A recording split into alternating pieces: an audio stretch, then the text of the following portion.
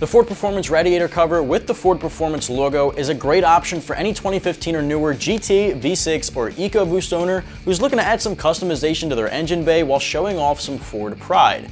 Now this cover completely replaces your factory one for a perfect fit and comes in right around the $90 mark, which I think isn't too bad at all. Now the installation, as you can imagine, is simple enough as taking off the old one and popping on the new one in its place. That definitely gets one out of three wrenches on our difficulty meter. Now it's definitely not uncommon for guys to switch things up under the hood with styling pieces, especially those of you who are spending a lot of time at car shows or cars and coffee events in your local area.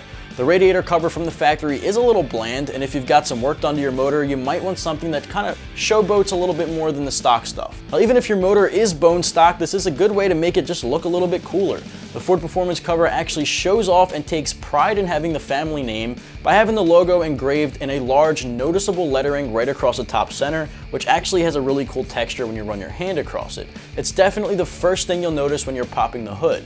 The performance lettering is presented in a bold font just like their logo, and it's pretty badass if I do say so myself. As you'd imagine from Ford, the quality is top notch. Now it's all OEM materials, exactly the same as your factory one as far as build goes. Now it'll use the same factory push pins and the same factory locations. Obviously it makes it a lot easier when it comes time to pop it on and off, so you won't have to do any drilling to get it on or any 3M tape or anything like that. Overall, one out of three wrenches on our difficulty meter, and like I said, you can pick it up for just about 90 bucks. All you need to do is use a flathead screwdriver and pliers to pull off the clips, pop the old cover off, replace it with the new one, put the clips back on in the factory locations in the pre-drilled holes here.